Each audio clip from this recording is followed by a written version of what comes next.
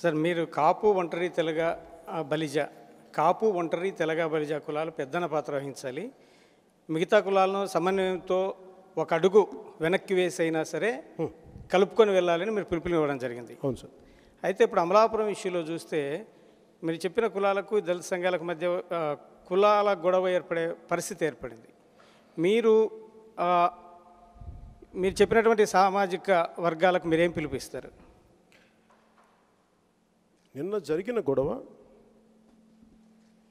ఒక కులానికి సంబంధించింది కాదు. అందుకే నేను పిలిపిస్తుంది ఒక కులానికి పిలిపివ్వట్లేదు ఈ రోజున. నేను పిలిపిస్తుంది కోనసీమ వాసులందరికీ పిలిపిస్తున్నాను అందరూ సమయం సంయమనం పాటించమని చెప్పి. ఎందుకంటే నేను చెప్పేది అంబేద్కర్ గారు మహానుభావులు.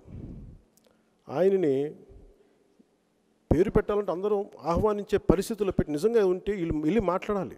ఎమ్మెల్యేస్ ఎవరైతే వారికి ఇబ్బంది లేదంటే ఒక ఒక అభ్యంతరాలను చెప్పారు. వాళ్ళ దగ్గరికి వెళ్ళి రీచ్ అవుట్ అయ్యి మాకు ఇది మేము ఇది పెట్టామని చెప్తే ప్రేమగా చెప్పి వివరిస్తే ఎందుకు వినరండి? వింటారు.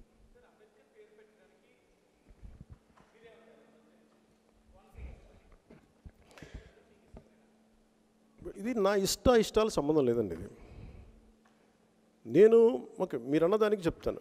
అంబేద్కర్ గారు లాంటి ఒక మహానుభావుడు ఒక జిల్లాకి పరిమితం చేసేస్తామా జిల్లాకి పరిమితం చేస్తే సరిపోద్దా? అంతర్జాతీయ స్థాయిలో ఆయన మేధస్సుని కొనియాడిన మహానుభావులు ఎంతమంది మేధ మేధావులు ఉన్నారు? అపరిమితమైన మేధావులు ఉన్నారు. సరే రా- రాను రాను అంబేద్కర్ గారిని కేవలం పొలిటికల్ నీడ్స్కే మాట్లాడటం నిజంగా చేయాలి అంటే అంబేద్కర్ గారి మీద నిజంగా గౌరవం ఉంది ఇందాక నేను చెప్పిన స్టేట్ చేసిన ప్రతి ఎస్సీ సప్లాన్ దగ్గర నుంచి వాళ్ళకి కావాల్సిన నిధులు వాళ్ళకి కావాల్సినంత సొంతంగా సంపాదించుకునే స్థాయి ఆర్థిక సంపత్తి సమకూర్చాలని కోరుకుంటాను సార్.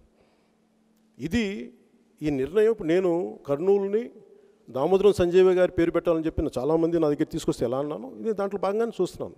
కానీ అలా అన్నప్పుడు ఇది ప్రజాస్వామ్యం. ఏకస్వామ్యం కాదు కులస్వామ్యం కాదు. ప్రజాస్వామ్యం అది. సో దీంట్లో అభ్యంతరాలు ఉన్నప్పుడు ఏం చేయాలి? ఇండియా నేర్చుకోవాల్సింది భారతదేశంలో ఒకటి ఉండాల్సింది అంటే రెఫరెండం అనేది కావాలి. రెఫరెండం పెట్టాలి. కొన్నిసార్లు ఇబ్బందులు ఉన్నప్పుడు ఎవరు ఏం చేతుల్లో ఉండవు అది. ఇప్పుడు నేనే ఈ దామోదరం సంజీవయ్య గారి జిల్లాని పెద్ద పెడదాం అనుకున్నప్పుడు ఈ రోజున మా ప్రభుత్వం ఉంటే ఖచ్చితంగా రెఫరెండం పెట్టేవాడిని. ఇలా రెఫరెండం పెడతాం అంటే కొంచెం అభ్యంతరాలు ఎక్కువ ఉంటే ఖచ్చితంగా రెఫరెండం పెడతాం. ఆ దిశగానే చూస్తున్నాం. సార్?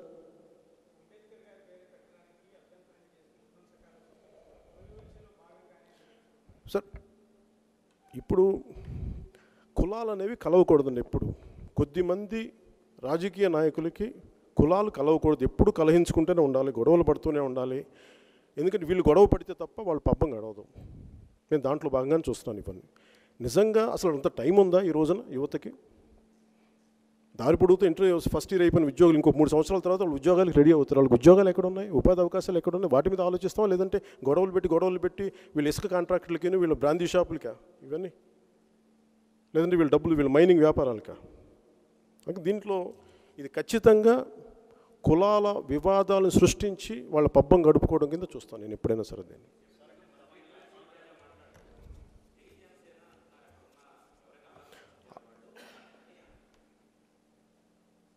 వాళ్ళు అన్నారంటే కూర్చో మొత్తం చేయమని చెప్పండి విచారణ చేయమని చెప్పండి. అందరూ విచారణ చేయాలి. ఇది కావాలని కూర్చోబెట్టి ఓ పది మందికి ఓ- ఉదాహరణకి నేను నాకైతే ఆ ఇన్ఫర్మేషన్ లేదు. మీరు అంటున్నారు కాబట్టి నేను మీ వాదనే తీసుకుంటున్నాను మంత్రిస్థాయి వ్యక్తే వ్యక్తి నిజమైపోద్దండి. మంత్రిస్థాయి వ్యక్తి అయితే నిజమైపోతారు. అని ప్రతి అబద్ధాలు చెప్తారు వాళ్ళు. వాళ్ళు నిజంగా మంత్రిస్థాయి వ్యక్తులు అంత ఉన్నతమైన వ్యక్తులు అయితే ఈ గొడవలే జరుగుండేవి కాదు కదా. Prevention is better than cure అని చిన్నప్పుడు నేర్చుకున్నాం కదా.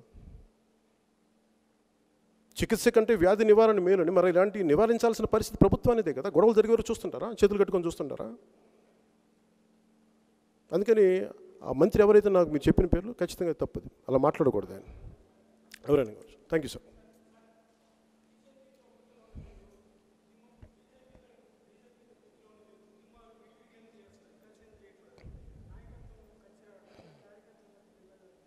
ఏంటంటే? సారీ నేను ఒక మైండ్ సెట్తో ఉన్నాను. మీరు బీజేపీ పట్టుకెళ్ళి చెప్పండి. చెప్పండి. ఎందుకు విడివిడిగా చేస్తామంటారా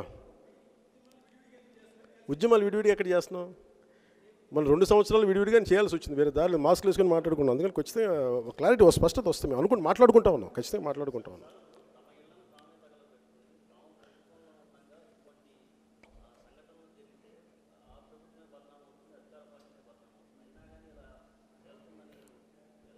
ఒకసారి కొంతమంది ఉంటారు కదా సార్ చెట్టు మీద కూర్చొని కొమ్మలు నరికేసుకుంటుంటారు కదా వాళ్ళు కూర్చొని కొమ్మ చెట్టు మీద అలాంటి పనులు చేస్తారు కదా. ఒకసారి ఏంటో అంటే ఈ బ్లైండ్ అంబిషన్ ఫర్ పవర్ వాళ్ళు ఊహించని చాలా అతి అతి తెలివితేటలు చేసే వ్యూహాలని వాళ్ళు ఇలా కూడా చేస్తారు కదా ఇది అతి అతి వ్యూహం అనుకుంటాను సార్. Thank you sir